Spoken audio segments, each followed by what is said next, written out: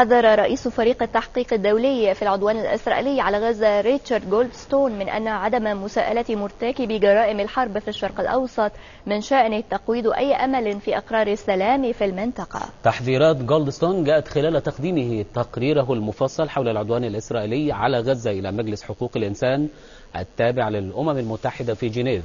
وقد رحبت الولايات المتحدة بتحفظ شديد بتقرير جولدستون لكنها رفضت توصيته بإمكانية تحويل الأمر إلى المحكمة الجنائية الدولية. معي عبر الهاتف حول جلسة مجلس حقوق الإنسان التابع للأمم المتحدة مباشرة من جنيف الصحفي المتخصص في شؤون الأمم المتحدة السيد تامر أبو العينين سيد تامر كلمة جولدستون أمام المجلس التابع للأمم المتحدة ما هي النقاط التي تتوقف عندها فيها؟ توقف جولدستون في هذه الكلمة على أشياء مهمة من أبرزها أن أهمية هذا التقرير في سرد الحقائق كاملة لأنها والبعثة الأممية التي توجهت إلى هناك كيف تقصت الحقائق وكيف جمعت المعلومات وما هي الأدلة التي تثبت أو تدين إسرائيل بأنها استهدفت المدنيين عن في في عملياتها الأخيرة على غزة، هذه كانت أبرز النقاط بالإضافة إلى دعوته مجلس حقوق الإنسان لتبني هذا التقرير واعتماده ومن ثم يصبح من الوثائق الرسمية التي تدين إسرائيل في حربها على غزة. كيف ترى استقبال مختلف الدول المشاركة في الجلسة لنقاط جولدستون؟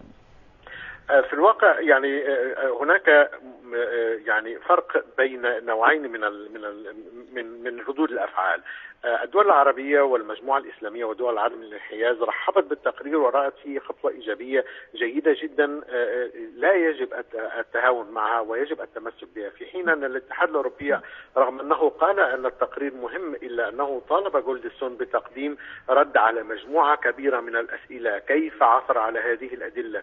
كيف تمكن من جمعها؟ هل هناك وثائق تثبت كذا وكذا وكذا وكذا؟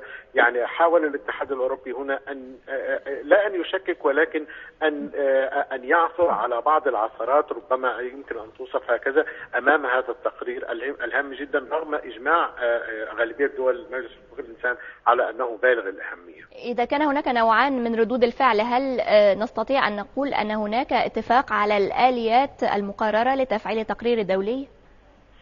هو في الواقع يعني هذه الآليات دائما تختلف حسب تقييم كل دولة وحسب تقييم أيضا المجلس بصفه عامة ولكن دائما القضية القضايا العربية الإسرائيلية تشهد داخل مجلس حقوق الإنسان انقساما حدا بين الشمال والجنوب بين الشرق والغرب. فنجد أن الاتحاد الأوروبي وكندا والولايات المتحدة تأخذ صفا والدول العالم الانحياز تنضم وتتعاطف مع المجموعة العربية والمجموعة الإسلامية وبالتالي يحصل نوع من بلوره المواقف هنا.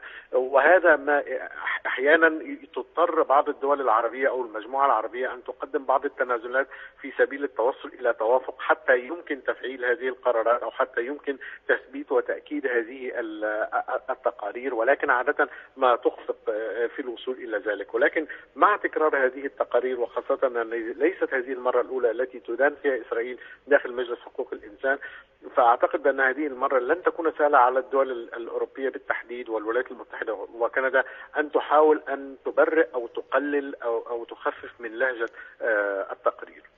من جنيف الصحفي المتخصص في شؤون الأمم المتحدة تامر أبو العينين شكرا جزيلا لك.